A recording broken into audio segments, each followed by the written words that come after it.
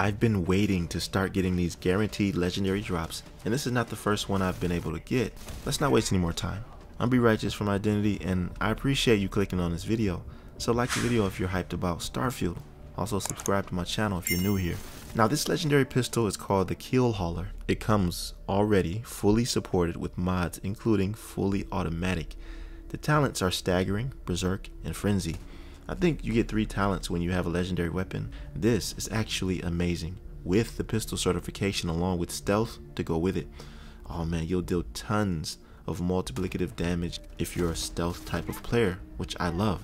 It was gifted to me by Delgado, the leader of the Crimson Fleet faction after I completed a very long initiation mission for him. So once you're in the fleet, this is a guaranteed drop for you, I believe. Let me tell you quickly how to join the Crimson Fleet. So, now that we are all here, it's time to get down to business. For me, it was by accident.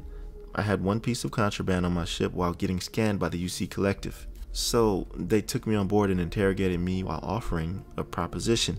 Become a spy for them by going undercover with the Crimson Fleet using my social skills or face the consequences of arrest. This will effectively put you in that quest line. After you're in, it's your choice as to how evil you actually want to be because the Crimson Fleet are grimy and you can make tons of credits if your conscience can handle it. From me, you bet your ass it's your problem.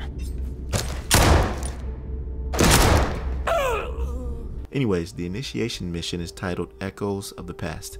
Complete that mission, and at the end of it, you'll all rendezvous back on the Crimson Fleet ship to wrap things up and get ready for your next quest.